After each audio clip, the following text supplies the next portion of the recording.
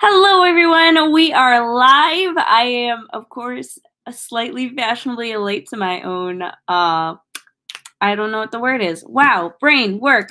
But we are uh, currently in the second session for today, and that is for the AuthorTube virtual retreats. So thank you everyone for tuning in. If you've already tuned in um, for the first session, let me know. There's a lot going on today. So First things first, uh, check the description below, and there will be all the links to all the sessions, um, all the info. There's giveaways going on today. There is um, writing sprints going on today, and of course, all of this that you are watching here will um, be available for replay. So if you miss anything, no worries, but being here live is the best thing that you can do. So let me just finish setting up some stuff. Um, let me know how you guys are doing today. It's awfully hot over where I am. And let's see. I'm going to go ahead and try this. And I'm just going to double check that you guys are seeing everything correctly. Do do do. All right. I'm just going to make sure going to refresh my page over here to make sure that things are looking correct. I think they should be, but I always get nervous. Let's see. Hold on. Okay, it is, well, it's kind of working. That's not exactly the way I wanted it to go. Let's try this. There we go. Okay, that's better. All right, so thank you everyone for tuning in. Today we're talking about book marketing which is just there's so much to talk about. Um, that's not what I wanted to do. I'm sorry, guys. All right, there we go. Um, so today, these are the things we're going to be talking about. We're talking mostly about like very large, like big picture stuff. Um, I'm going to keep, I'm going to try my best to keep my eye on the comments. Um, but I already know I missed a lot of them. So I hope you guys didn't ask any questions.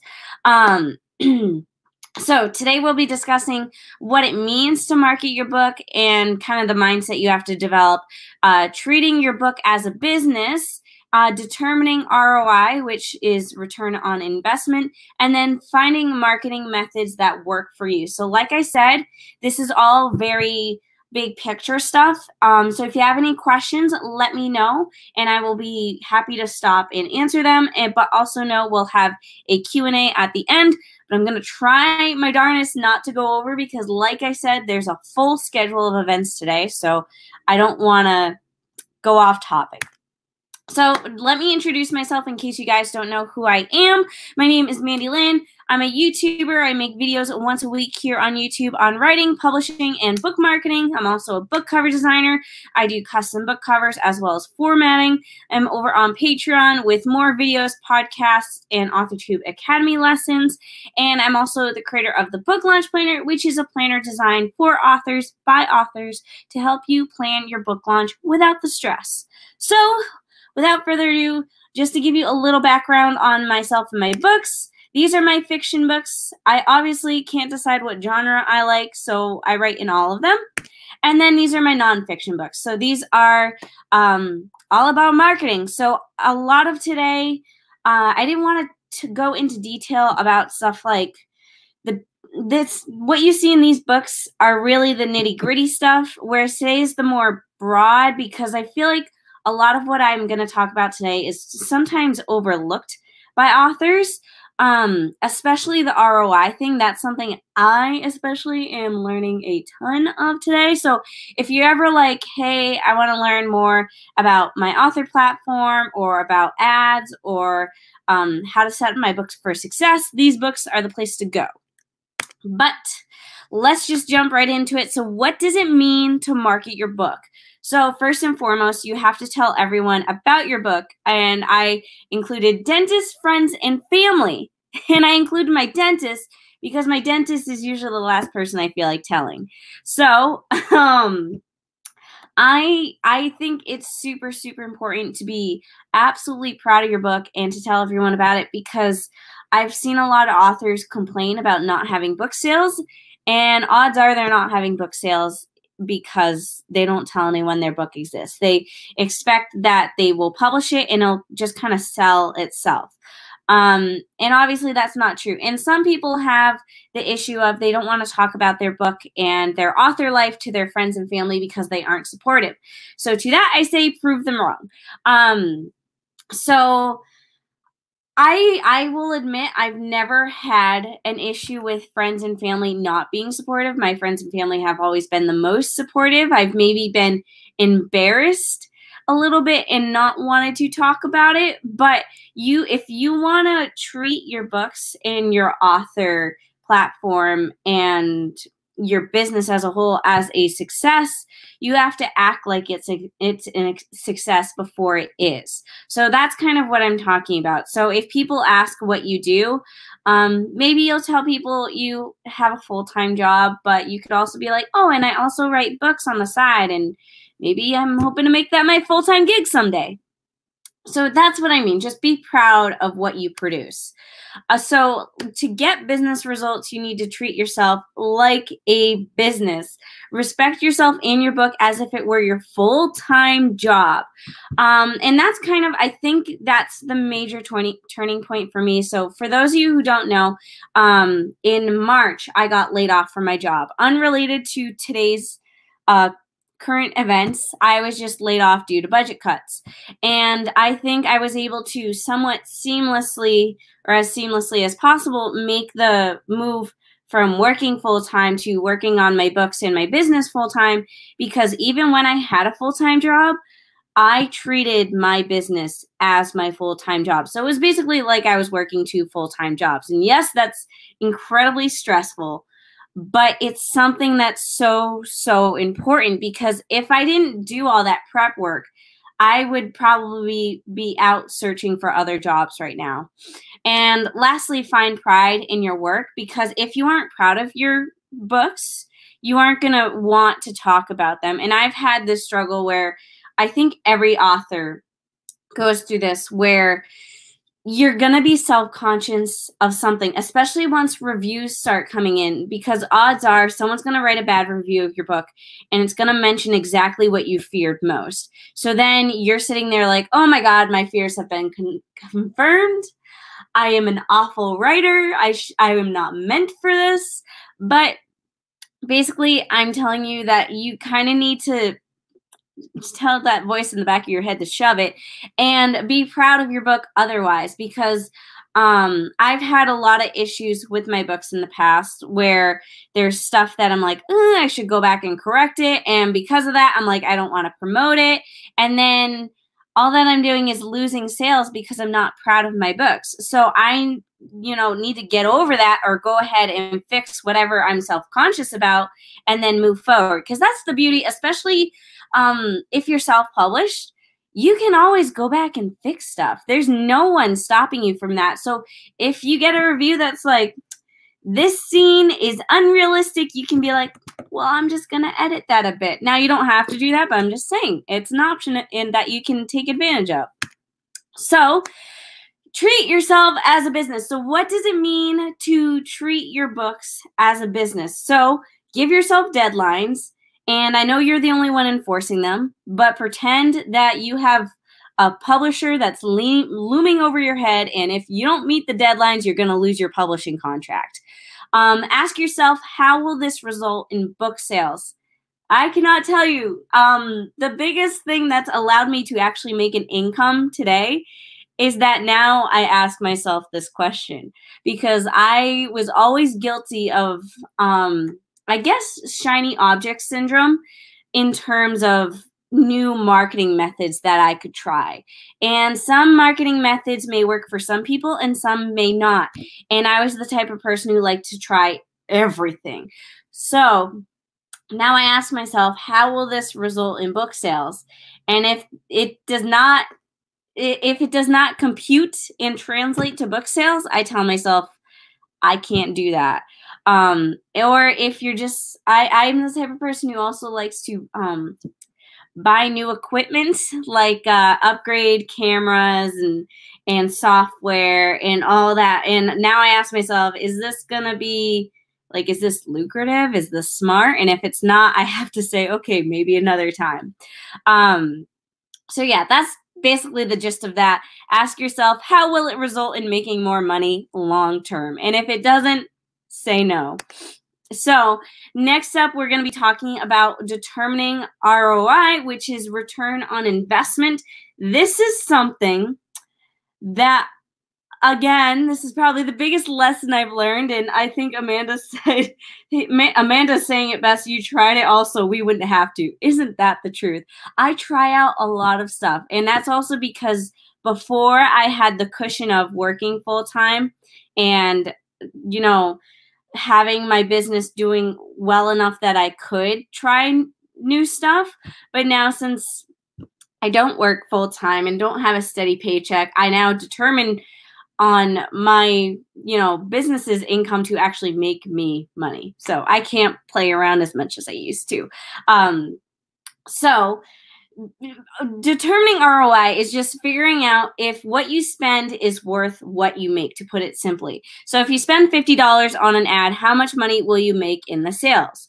Or um, ROI isn't always money, though that's usually how most businesses view it. But I think, especially as an entrepreneur, you have to keep your time in consideration as well. So if you spend one week putting together a marketing plan, will the results be worth your time? Now, usually the best thing, um, that entrepreneurs like to do is they're like, I would rather invest my time into something rather than money, which usually works out. But if you're investing a ton of time into something that ultimately isn't making you money, you will have to, you know, maybe drop that. So I'm going to go through a few examples. Um, pre-order campaigns are something that can be relatively easy to figure out ROI on. So you ask yourself two questions. How much does it cost and how much time do you have to invest into it? So here's an example. This is probably the clearest example I could come up with. Um, and that's because, so I just had the uh, I'm or I'm still having the um, pre-order campaign going for the book launch planner. It actually comes out this week.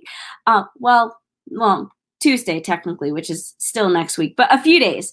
Um, so when I made the pre order campaign, I had to figure out how much it would cost and how much time I had to invest into it.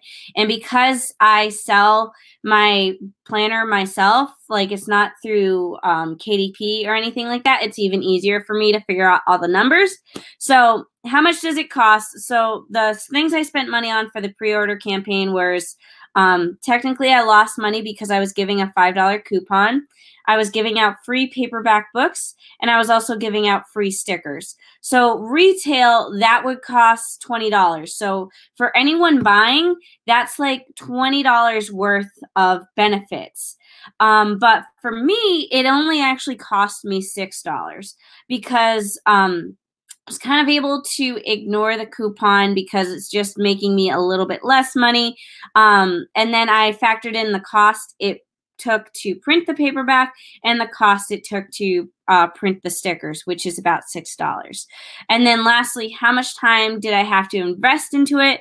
So I didn't technically have to invest any time, like any extra time, I should say, because as it is, I already had to package and print everything regardless. Uh, whereas if this was a book that was sold through Kindle Direct Publishing, I wouldn't have to package the planner. So then anything else that I shipped out to people would be an extra bit of time. But because I have to ship people the planner anyways, I just include all the freebies in with the packaging. But um, so that's the cost of time and the costs of actual costs. And the results was over 100 planners were sold during the pre-order period, which is again something that's still going on now. Um, so another example would be Amazon ads. These are a little bit trickier, um, but when you get down to the nitty gritty and you can compare the numbers, it makes way more sense. So how much does it cost? So that's easy. Amazon ads will uh, you can set your bid amount. You can set what you want to cap it at. Um, if you don't know how Amazon ads work, I highly, highly recommend reading book three of the Marketing for Authors series, which is Book Sales That Multiply. Um, I kind of go into nitty gritty in terms of how to set it up and how to understand it and everything like that. But say you set your budget for Amazon ads for $20 and then you have to ask yourself how much time did you invest into setting it up i usually spend about an hour setting up one ad and that's so i can do the proper research to set everything up because if you set it up incorrectly you're wasting your time um, and then the results would be something like $50 in revenue, which means that you made $30 in profit. And honest to God, that's just a number I'm pulling out of the sky. So who knows?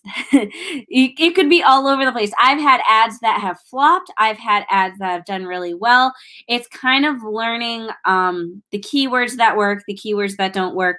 And um, if you've read Book Sales That Multiply, you know that when you run an ad, especially an Amazon ad, you want to constantly keep an eye on it because um, sometimes things can get fluky and you'll notice like you're spending way too much bidding on a certain keyword that you're realizing doesn't work for your book. Um, so again, just make sure that you do your research before you jump into Amazon ads. uh, another example, and this is probably something that's a little more relatable to everyone because this is in terms of your platform, determining your ROI on your platform. So in this instance, I'm talking specifically about your newsletter and social media platform. So ask yourself first, what does it cost? Um, so if you're just talking about your newsletter and social media, odds are it's either going to cost you nothing or it's going to cost you a little bit to start it up. So if you have a newsletter, you'll also want to have a website and obviously um, to start a website that's not completely free. So just keep that in mind. Um, but then you can ask yourself, how much time do you have to invest? Uh, if you want to invest one hour a day into your uh, authored platform, then that can be great. Uh, and your results could be something like $50 of revenue a month. And when you take that, like your $50 a month and you compare that to the amount of time that you've invested into it, you may sit back and be like, well, that's not worth it at all. That's just getting paid pennies if you take the amount of time versus the amount you've actually made per hour. But over time, these numbers will grow. Platforms take a long time to grow and morph into something that actually generates income it's not going to happen overnight and i think that's the biggest thing is that when people um when they learn about marketing, especially when it comes to your platform, they think that I just have to read this book and follow every step and it's going to work perfectly and it'll go quickly. And sometimes that can happen, but most of the time, you will follow every step and you will do everything you are told and it could still take a long time to work out. That doesn't mean you're doing anything wrong. That just means it's going to take a little bit for things to catch on. So you kind of just have to be a stickler when it comes to these sort of things and stay determined and after a while um, the larger your platform gets the more search engines will kind of work in your favor and continue to recommend your content. And the best part about having a platform is that you can also use your platform to produce revenue. Um, so, for example, if you're on uh, uh, if you're on YouTube, you can get revenue off of YouTube by um, setting up a Google AdSense account and get paid for the ads that show up on your videos, which can also just make things um, more worth it, so to say. And same for Instagram. You can do like sponsored posts, although I've never done that personally, but I know other people do it. So there's just a lot um, that can go into your platform besides just making sales off of your books. Um, someone just had a quick question. Do you have an ebook version of the book launch planner? Um, so I know people have asked this question quite a bit. Um, because the book launch planner, like it's meant to be a physical planner, I don't have any plans to make it an ebook version. Um, but I do know that the biggest hindering thing is the shipping cost. So I do hope that in the future I'm able to adjust the shipping cost by working with like people to figure that out. Because I know it's a thing that you can like negotiate shipping costs if you ship a lot of stuff, but I'm working on that. I'm trying. um, so finding marketing methods that work for you. So these are kind of like the big marketing methods I'm sure there are other ones. There are God knows how many ways you can market your book, but these are really the big ones and the ones that are really upfront. So, um, I like to say there's two different versions of having an author platform. One author, one platform is through the reader's point of view, and that would be more like you consider yourself a book blogger. You talk about books, you talk about reading, um, all that sort of thing, and you just also happen to be an author yourself. And then there's the author platform where you're more search engine oriented, where you're creating content that people are looking for. So you're not hoping to just pop up in someone's social media feed and that they'll enjoy your content, you are hoping that people on Google or on YouTube or even on Pinterest looking for something specific and they find your content that way. Um, and that is nine times out of 10 what you guys would consider an author tuber, which is people that teach um, being an author and being a writer.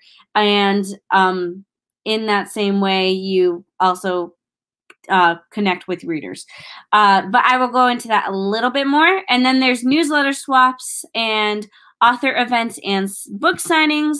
And last but not least, ads. So just to jump into everything, first and foremost, your author platform, that's from a reader's point, point of view. So if you're if from an Instagram perspective, to put it simply, you're a bookstagrammer. You are taking photos of books and you're posting them all over Instagram and you're talking about reading on Instagram.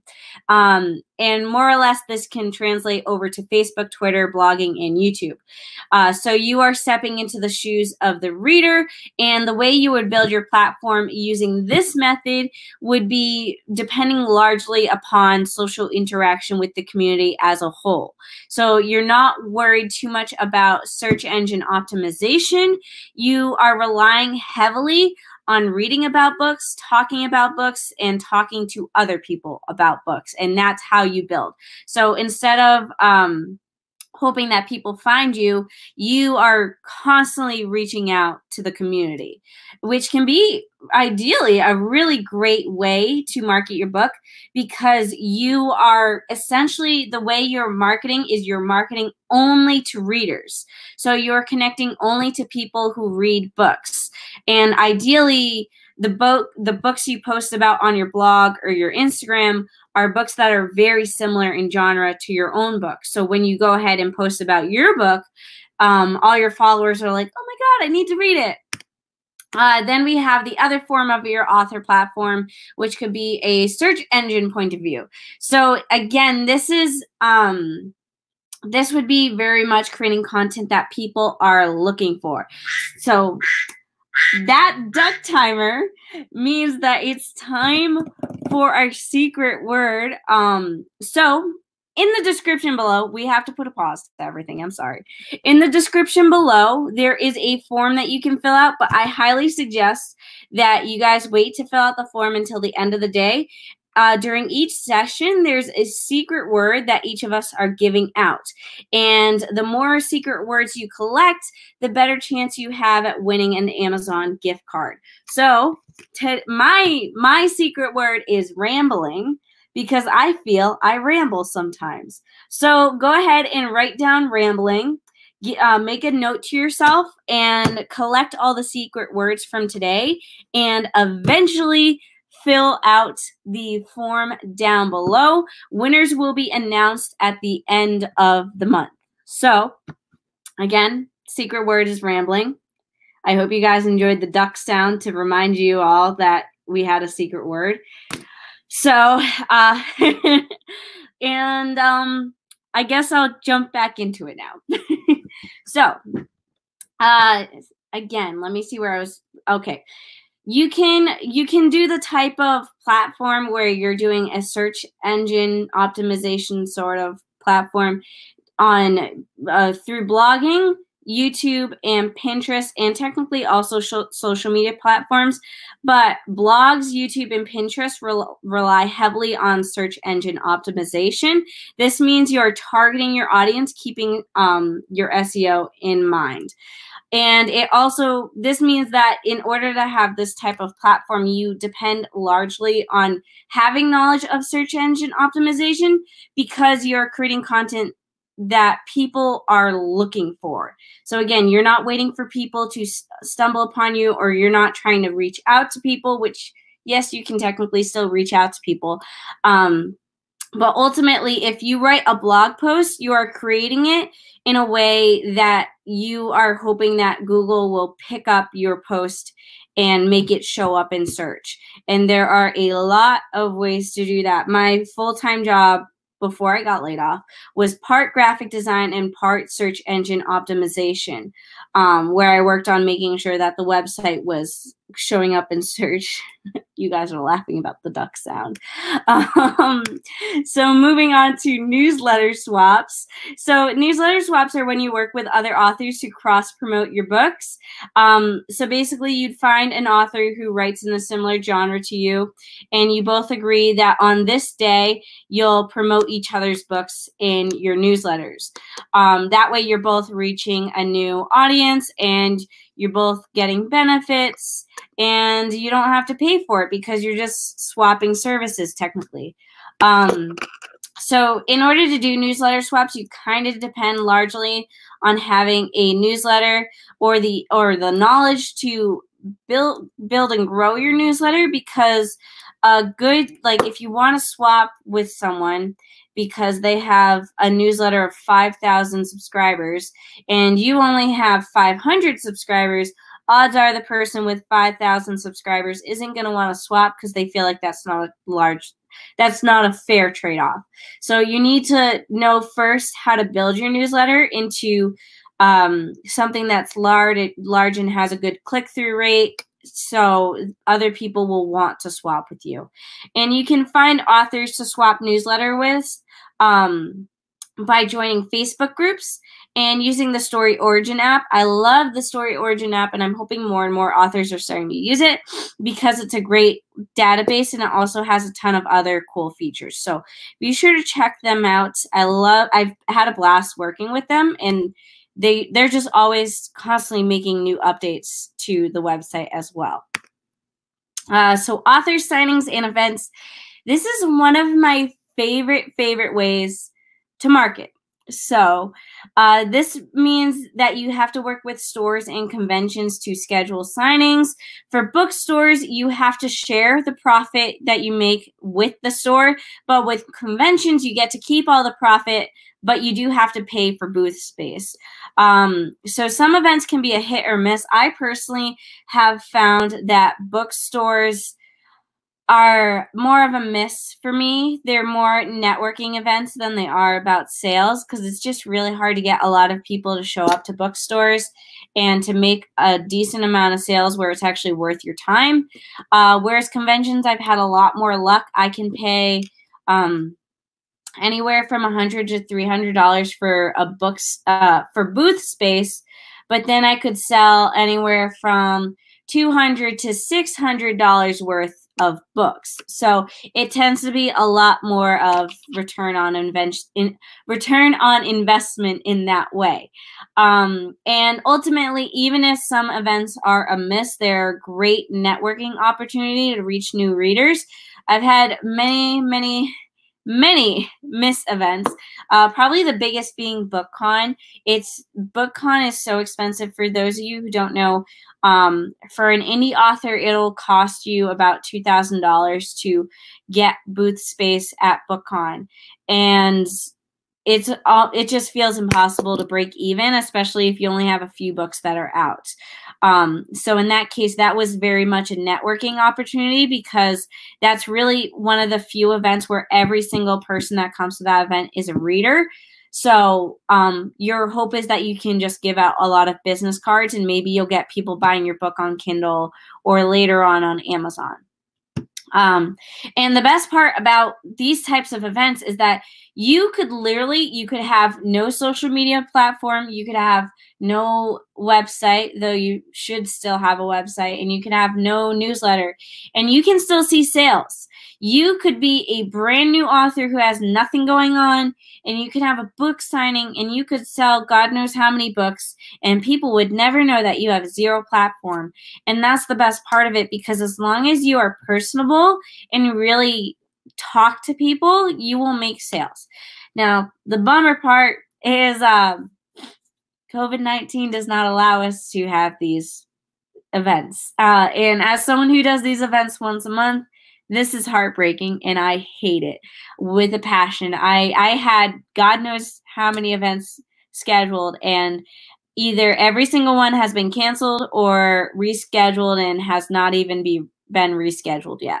Um but hopefully starting in 2021 you guys can start doing stuff like this. I love doing events like this. Um, and if you guys, I think I have, yeah, on Patreon, I have a podcast where I go into the details of doing events, especially vendor events, because I feel like those are the most beneficial ones.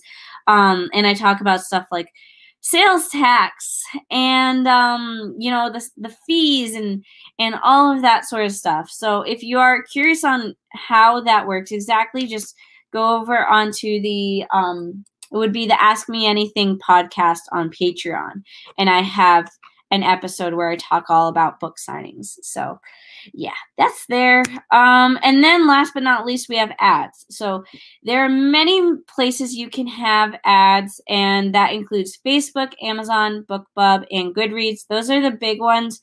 Um, but I've also done ads where like I'll find um I think it was for She's Not Here. I found a newsletter for thriller readers and I paid to have my book She's Not Here featured in that newsletter. Uh, yes, so the editing bard says that farmers markets have been great for me in terms of getting clients and meeting people. Yeah, I love literally I Comic Cons can be okay. Um, book fairs are okay, usually less than okay if you ask me because there's too many other authors, so it's hard to sell.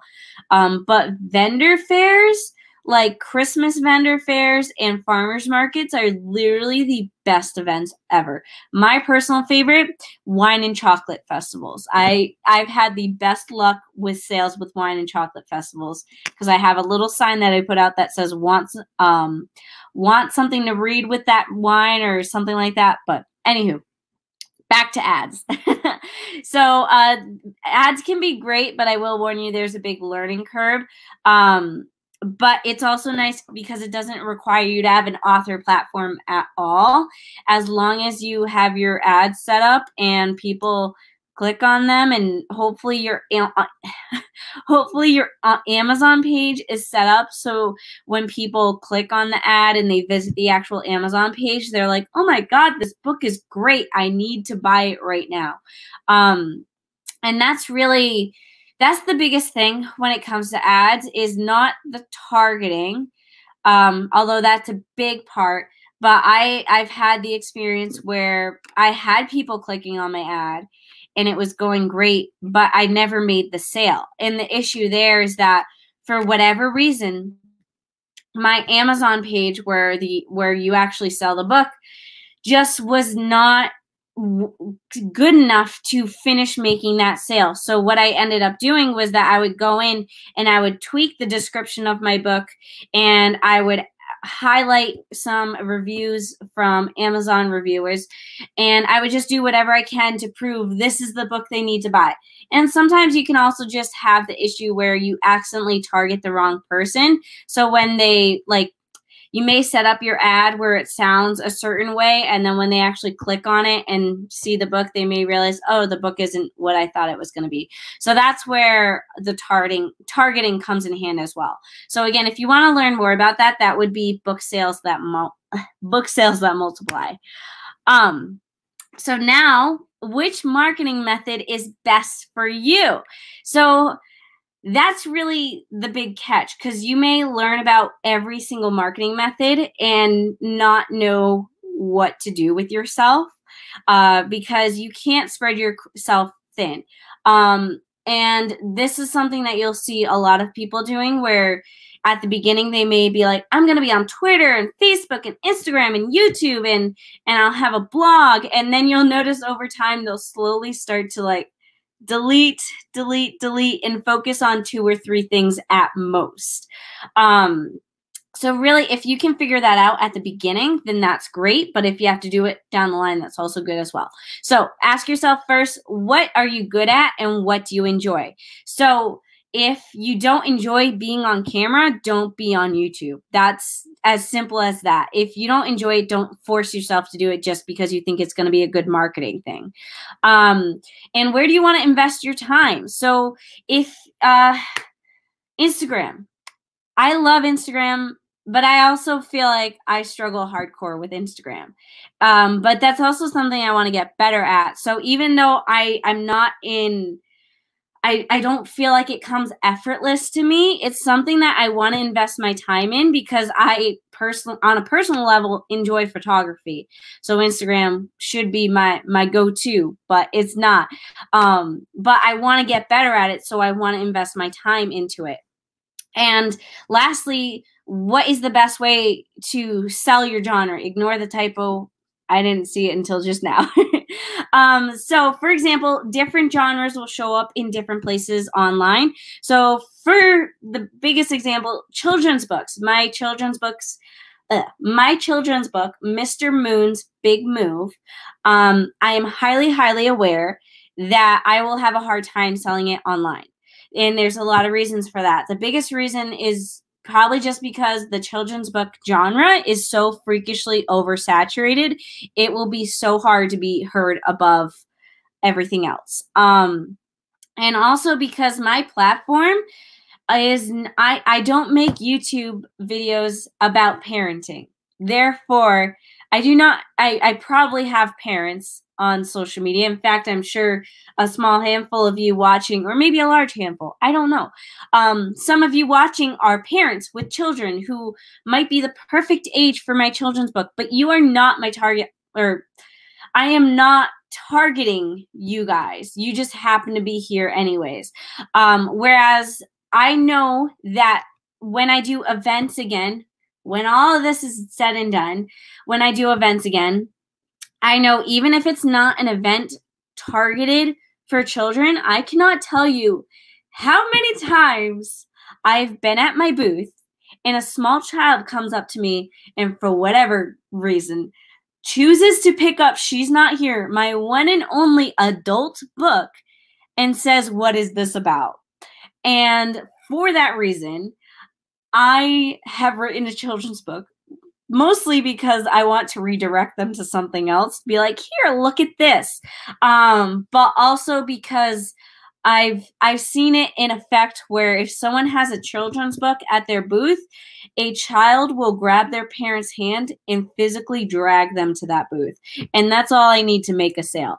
Um, whether that be the children's book or maybe I can get the parent interested in one of my other books as well. So that's just my little marketing method, and also um, a children's book opens up a wide variety of stuff. You could do fun uh, events at uh, bookstores where you can read the book to kids and you could make a big to do out of it. You could go to schools and read the book. But again, all of that has to wait until all of this is over. Um, and then when it comes to nonfiction, um, the best thing for you to do in terms of showing up online is having an author platform that is search engine driven. So, um, for me, as someone who has how to videos on writing, marketing, and publishing, you can imagine that my marketing for author, uh, my marketing for authors books sell really well. Um, whereas my fiction, uh, that would be best sold from the reader's point of view. Now, it does naturally sell anyways because um, authors are also readers, so I sell them naturally through that. But if you are someone who only plans on ever writing fiction and you don't enjoy teaching on that level, you could do videos or not. Well, you could do videos from a reader's point of view. That's called BookTube. Um, but you could do you could focus more on the book reading content rather than the book writing content. So yeah.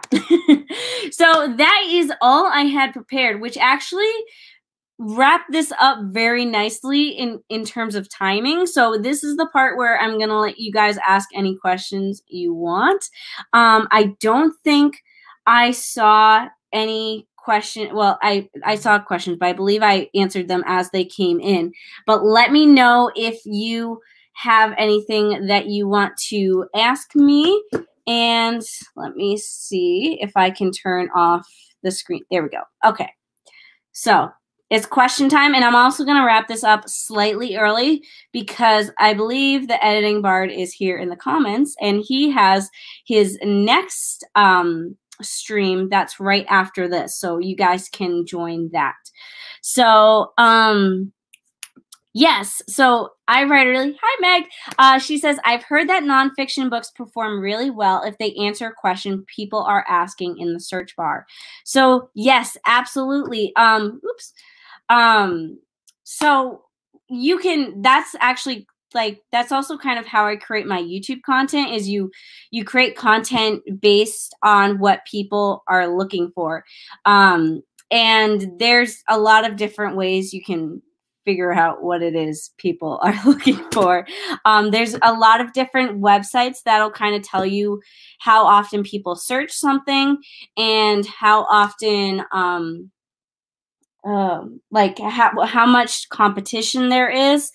Um, so yeah, absolutely. There's there's like um, the marketing for authors series. We kind of made them based off of what people were always asking us. Um, uh, Sydney asked, "Will these slides be available to look at later?"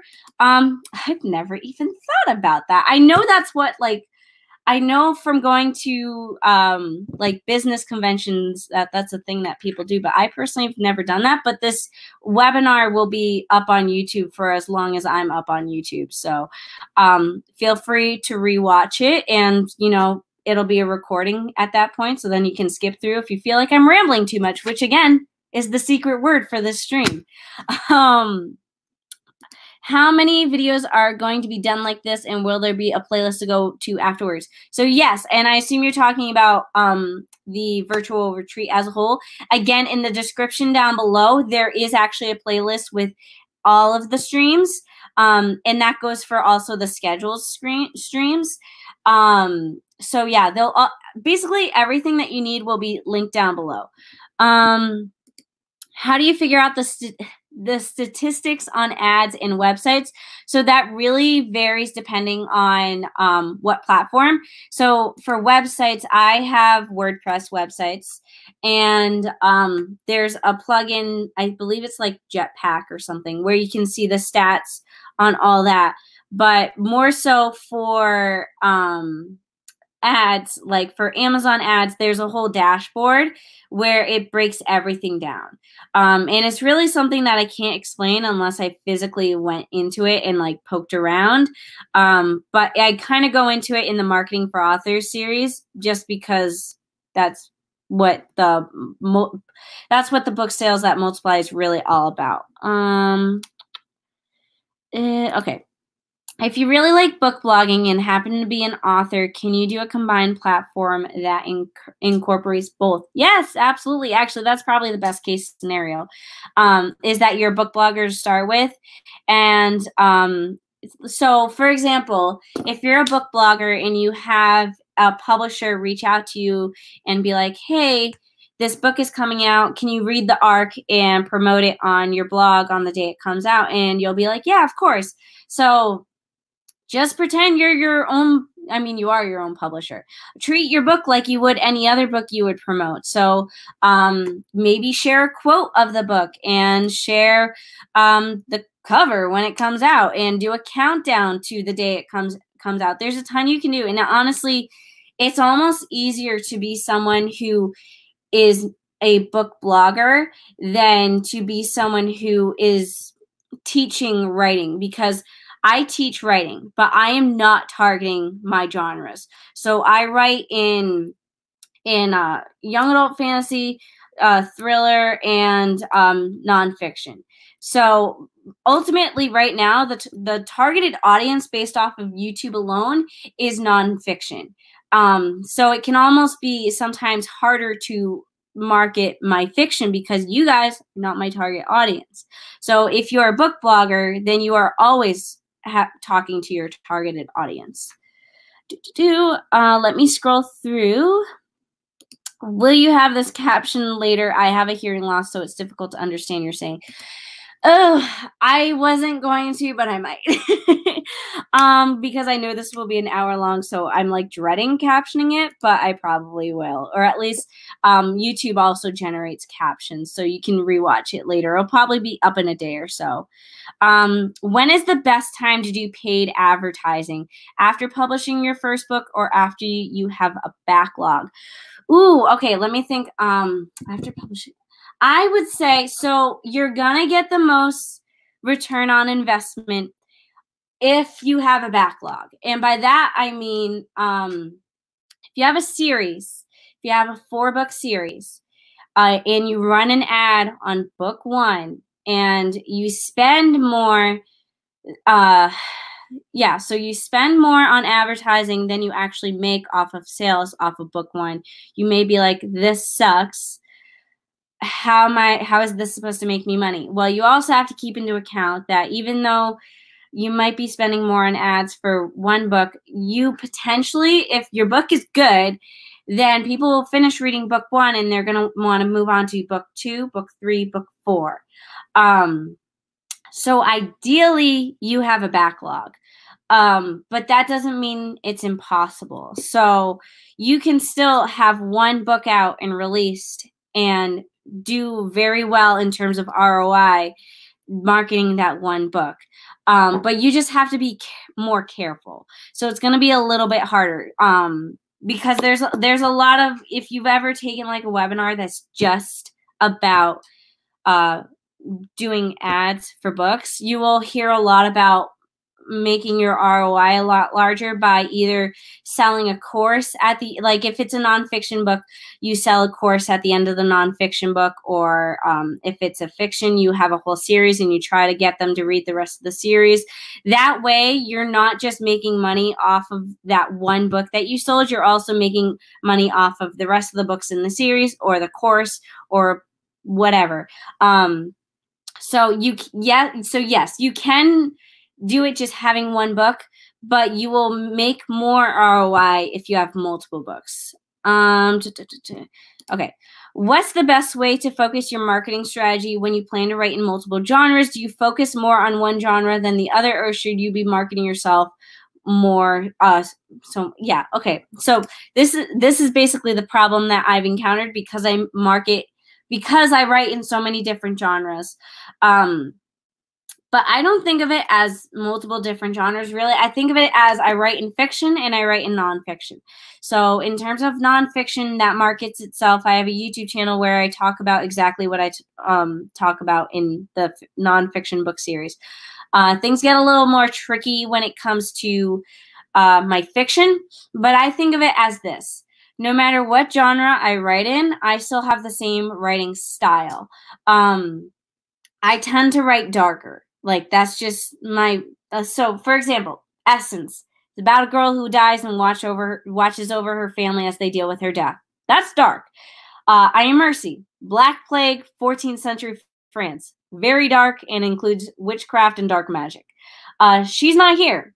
Psychological thriller, the most different from all my books, but still very dark in the sense that it's about a woman who's just about lost her mind and is putting someone else's life at stake to find a cure. So yes, the books are very different in terms of genre, but the thing that connects them all is my style. I write dark fiction. So I try to market in terms of that. So find what connects all your books together. And obviously, my children's book is not dark fiction. That's my cutest, most adorable book. Um, but you get the idea. So find whatever connects all your books together. And instead of trying to market in terms of a genre, market in terms of your style. Um, do, do, do. Uh, another question from Meg. Uh, what are your thoughts on advertising on social media such as YouTube and Instagram, particularly if it's not book centric advertising? Okay, so that, in terms of that, I have not had the best of luck in terms of marketing my books on Facebook. I have played with the idea of doing like I have book trailers, but doing an ad of my book trailer on YouTube as like one of the skippable ads because I think that would do okay. Um, but it's not something I've experimented in yet, um, but it's a possibility. I think for any type of marketing that you're not sure of, the best thing that you can do is just dip your toe in and be like, how is this going? Um, I've done Facebook ads for webinars and I found those do okay. They're not like anything spectacular. Um, but the biggest thing is, especially if you're marketing, um, like if you're doing a Facebook ad for a free webinar, it's going to be a lot harder to get the ROI out of that. So, um, obviously, if it's a free webinar, people can sign up, no strings attached but then you also don't make money that way. So what ask yourself how am I making money? And if at the end of the webinar you're promoting either a product or an online course or whatever, then you have to say to yourself how much am I willing to spend on Facebook and what would the conversion rate need to be to um, make that money back and hopefully make a profit off of it? Um, because ultimately, um, in that example, if someone signs up for a free webinar and then they watch the webinar, a very, very small percentage of people will actually go ahead and do whatever the paid content is at the end. I think it's it's usually something like the the the average stat is less than five percent. So if you have a hundred people watching the webinar, less than five of them will sign up for the paid product um, whatever that may be. So just keep that in mind when you're doing that sort of advertising um, because the percentages are very low. And that's not to say that you did your marketing bad. That's just that's just the stats. Like that is the industry standard. Um, and again, I, I I'm pulling that number off of my head. I but it's definitely lower than five percent. It's like something like three percent of people will end up signing up. Um, okay uh, at the beginning of your career, how did you find out about your writing style? I just, I, I don't think I fully understood what my writing style was until I was at least three books deep. Um, you'll notice for Essence and I Am Mercy, they're told through first person present point of view, and She's Not Here is third person past. Um, and that's where I'm comfortable writing now. So you just, you develop as an author. And again, um, even though that's that, it's still very different in the sense that, um, or it's still very the same in the sense that they're all very dark, and that's just me. Um, da, da, da, all right, this is the last question because um, I want you guys to head over to the next stream and I don't want to go over on time. So if someone writes under two different names, what's your thoughts on that person using one platform for both if they're okay with people knowing that both names are the same person? A great question. Um, that's a gray area. So I would say that's probably okay. It's really about why are you writing under two different names?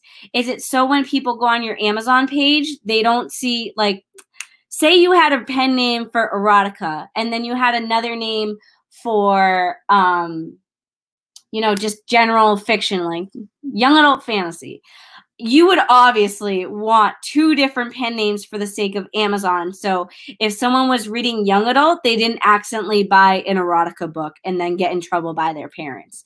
Um, but then if you have a platform and if you're okay with people knowing that it's the same person, that's totally fine. Um, the biggest example I can think of would be um, the Courtney Project um, because she writes for uh, the Kennedy Fox series. So obviously we know that's her and we can connect the dots. Yes, Keylin, you missed the secret word. It was rambling.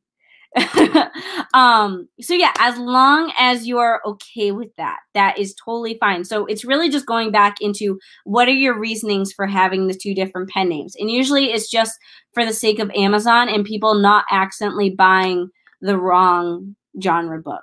So that is it. I'm going to wrap up. I feel bad because there's still questions. So I'm actually going to go ahead and I'm going to stay tuned in the comments and answer some of them in the comments if you guys, if whoever asked the questions want to stay tuned. But I am going to leave so you guys can move on to the next stream. So thank you all for watching. Enjoy the rest of the streams today. Make sure you fill out the form at the end. Again, secret word is rambling. Um, and that's what I'm doing.